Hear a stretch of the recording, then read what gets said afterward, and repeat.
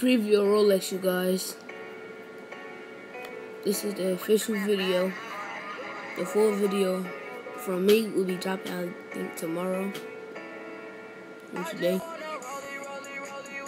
And tomorrow, you see that?